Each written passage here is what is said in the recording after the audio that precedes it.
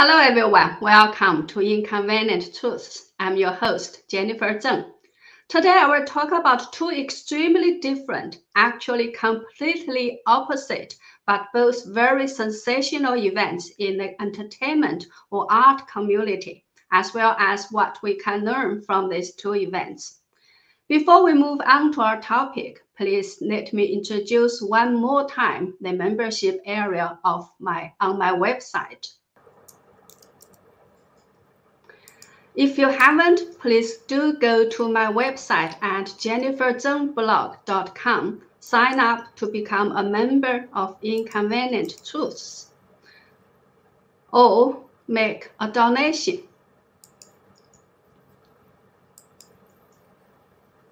So this is the donation page. After you sign up, you can go to the member area, submit your questions or topic suggestions with this form.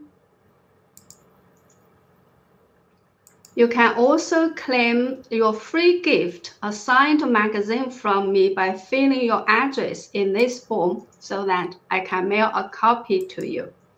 You can also check out members only content, the audio file for each show is for members only so that you can use your spare time to listen to the show if you don't have time to watch it. Anyway, I do hope this member this member area can become a better channel for us to communicate without fearing the big tech suppression. Sometimes I feel very sad that America and maybe other countries too have become like this when we don't have free speech anymore. But I always remember a saying in Chinese it is not because there is hope that we fight, but because we fight, there is hope. So let's continue to fight together. Now, let's move to our topic today. Let's begin from a good and a positive one. Recently, a Chinese language song called It Might Break Your Pinky Heart has become a YouTube sensation. It has so far got over 19 million views since its release on October 15 and has become the only only Chinese language song among the most popular songs on YouTube. It is trending in nine countries and the most popular song on the Apple Music Store in Hong Kong. So, what kind of a song is it, and why is it so popular? On the surface, it looks like a love song between two lovers quarreling with each other, but every lyric in the song is actually mocking the CCP. 说的话你从来都不想听，却又滔滔不绝出征反击。不明白到底入了你哪里，总觉得世界与你为敌。Did you hear that? The several lines are actually mocking the CCP's wolf warrior diplomacy. The CCP is so easily offended. It, and whenever it feels offended, it sends out a plethora of 50 cents army or Wu Mao on the internet to intimidate others. When it goes on, then the song goes on to mock the CCP's claim that Taiwan is an inseparable part of China. 你说我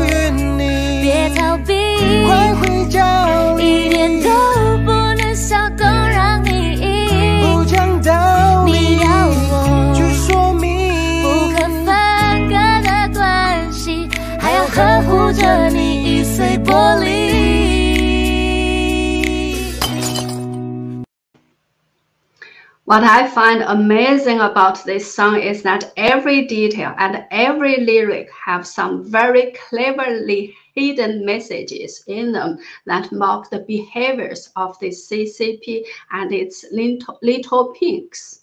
For example, In the short video we just saw, the pink panda, of course, represents the CCP's China. Did you see the four characters letters on the two flags in the pink panda's hands? They are NMSL. What do these four letters mean? They are actually the first letters of the pinyin pronunciation of four Chinese words, 你妈死了, which means your mother has died. This has actually this was actually what some overseas Chinese students shouted when they attacked Hong Kong students or other people they don't like. Let's watch a short video taken in Australia in 2019 during the Hong Kong people's protest against the CCP's anti-extradition bill.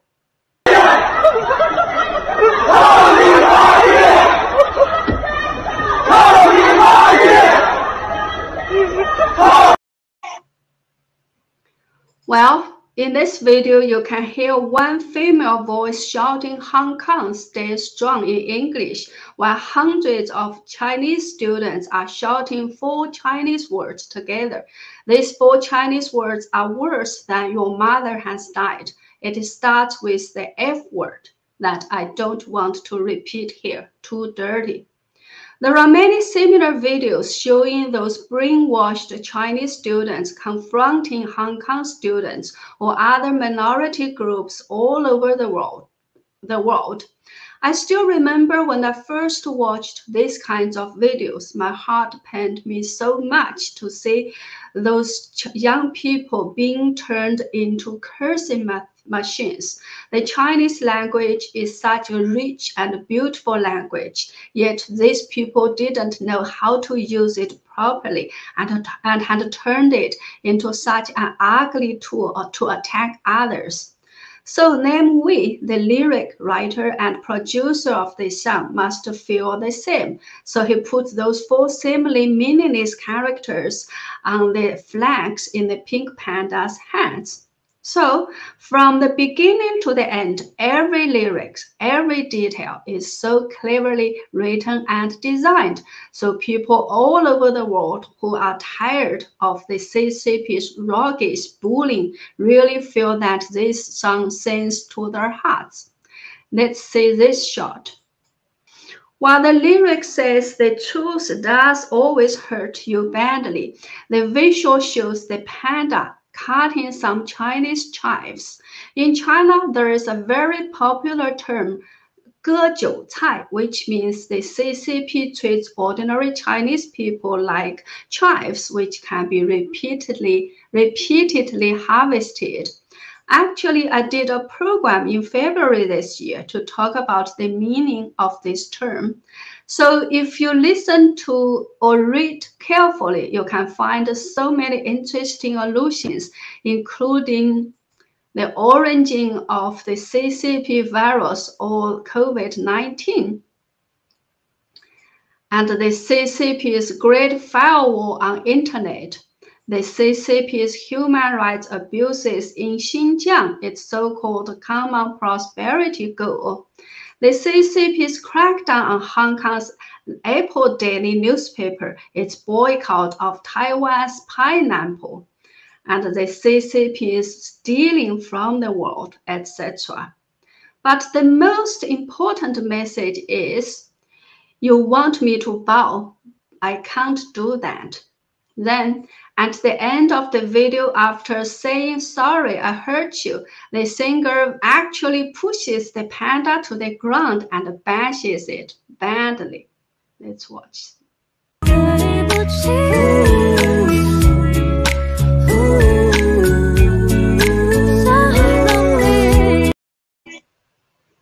Okay.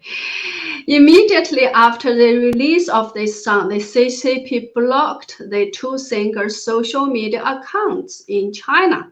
The female singer 对不起，伤害了你。 微博删掉没关系。Kimberley's Chen did a short video and saying that she doesn't care that her Weibo account was deleted, as still has her other overseas accounts such as Instagram and Facebook, I'm so sorry.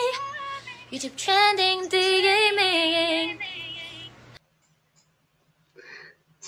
you know both the two singers are ethnic Chinese, although Nam, Nam is a Malaysia Chinese and uh, Kimberley Chen is an Australian Chinese. They do have a lot of fans in China, and the Chinese market is a very important one for them.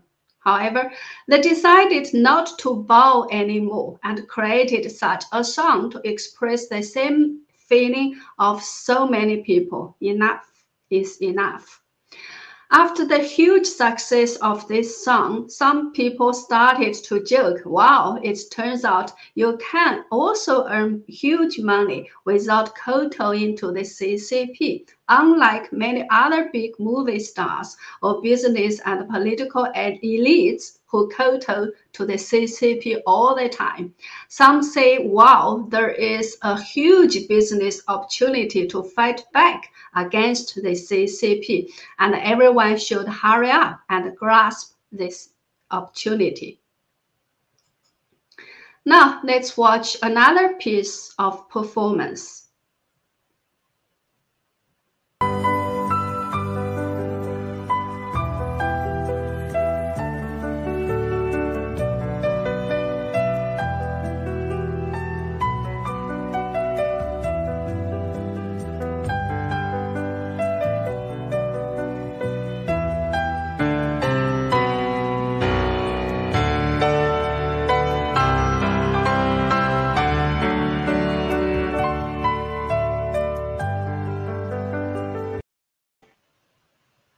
How do you like it? Well, the young pianist is Li Yundi, who was a, who has a marvelous career as an artist and has a nickname Prince of Piano.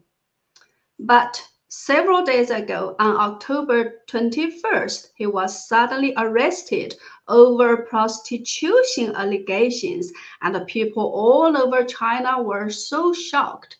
So, what happened and why would people feel so shocked? Well, because Li Yundi is a very, very famous celebrity in China, and this is his story. He was born in Chongqing City in China in, in 1982 and is only 19, 39 years old now. He has won numerous competitions both in China and internationally. And uh, the most important one was the 14th International Chopin Piano Competition in 2000 in Warsaw. He won first prize at only the age of 18, and it had been 15 years since anyone had won first prize at this competition. He also became the youngest as the first Chinese winner in the competition's history. Imagine what a big deal that was for China. So when he returned to China from the competition, the CCP's leaders from Shenzhen city, where Li Yundi and his mother lived then, especially went all the way from Shenzhen to Beijing to welcome him. This report you are seeing now is from the Shenzhen government website. You can see its website address has .gov, .gov.cn in it. In the same afternoon, the CCP's Minister of Culture received him in Beijing. One month later, he was given a special reception by the CCP's Vice Premier Li Lanqing. Later, he was interviewed by China Central TV, CCTV. He was invited to China's most important annual cultural event, the Chinese New Year's Gala, to perform five times. He was named one of the top 10 youth leaders in China, National Youth Ambassador, Ambassador of Shenzhen Volunteers, etc. He even became a standing member of Chongqing Committee of the Chinese People's Political Consultative Conference, and the then CCP Secretary Bo Xilai in Chongqing City personally gave him the certificate when he was named as the environmental ambassador for Chongqing City. So you can see he was an extremely successful artist who also had international renown. Not only that, he was also very much pro CCP. The performance of him we just watched was a propaganda video to celebrate the CCP's 19th birthday on July 1st this year.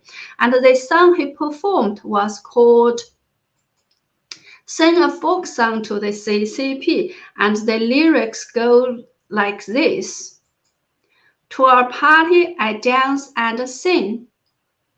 Sing of her mom like care and concern because of mom, my life beca- begins. To the party, my heart links. But I would say this is a very timid or polished translation by I don't know whom. It is tuned down to cater to English viewers. A more direct translation from the Chinese would be something like this Sing a folk song to my dear party, the party is like my mother. While my mother only gave birth to my body, the light of the party shines on my heart. Well, this is my version of translation and much closer to the original Chinese version. Anyway, this is a very famous brainwashing song in China, which means while your mother only gave you your physical body, the party's light is what lights up your heart, your soul, etc. So the party is more important and dear than your own mother. So Li Yundi performed such a song as a birthday gift, gift to his dear party. So one would assume that because he's so talented, so good looking, so popular with both the public and the CCP, he must have tons of admirers, fans, and followers. Why would he have sex with a prostitute, being such a renowned prince of piano? That was why people were so shocked when the news came out. The police said the public reported him for prostitution and that, and that was why he was arrested. It was also reported that his WeChat pay record shows that he had used his real name to pay the prostitute, and the price was 10,000 yuan for each time, etc. Very quickly, Li Yundi's arrest was trending on Chinese social media platforms. The CCP's mouthpieces all came out to condemn him, and the Chinese Musicians Association immediately announced that his membership was cancelled. The shows he participated in were all taken down. Even his photos were taken down by businesses which once hired him as an ambassador etc. So overnight, he was completely ruined. So let's go on to talk about why this happened to him. However, there are many people who are not very convinced by what the CCP says about Li Yundi. They argue, why would Li Yundi need to hire a prostitute if he paid with his WeChat Pay, how could the general public have the record of his payment history? Some also argue even if he did hire a prostitute, so what? He's still outstanding pianist. Why should he be cancelled completely as an artist? Some people say he's a victim of the CCP's power struggle as as he might have connection with the ousted Bo Xilai, who once wanted to replace Xi Jinping and was sentenced to life in prison and who is now behind bars. Some say it was because there was a massive explosion in Shenyang city that day. So the CCP needed another piece of hot news to divert the public's attention. The same kind of thing happened many times ago in the past. Whenever there was a massive disaster, there would be immediately some very shocking news of a certain big star or celebrity having some sort of sex scandal so that everyone started talking about the scandal and would forget about the disaster. Sometimes there were even shocking photos and videos to go with the sex scandals so that people were kept very busy spreading and checking out those photos and videos. I have no way to know whether Li Yundi had indeed done what the CCP said he had done. But what I can say is, ever since 1942, that was before the CCP took power in China, when the CCP head Mao Zedong said that literary and artistic workers should serve the party, artists have always been slaves in the CCP's eyes. Even if you become an internationally renowned artist, you are still a slave or chives that can be reaped by the CCP. Only you are a better quality one that can offer better service. The only freedom you have is to become a nicer, better slave. The CCP never has any respect for its slaves or chives it can decide how and when to rape you according to its needs. So by comparing these two extremely these two extreme stories of Namewee and Li Yundi, I think we can see through some very important fact. That is, you don't have to sell your soul to the CCP to make money or to be successful, even if you speak and sing in the Chinese language. And when you do sell your soul to the CCP, your story won't end well. People who feel very sorry for Li Yundi are saying, why didn't he try to migrate to other countries earlier? With his talent, he would have easily gained residency. Well, that's all for today. Please don't forget to check out my website and Jennifer Zeng blog.com and sign up for membership or make a donation. Please also like and share my video so that more people get to know the inconvenient truths. Thank you. See you soon.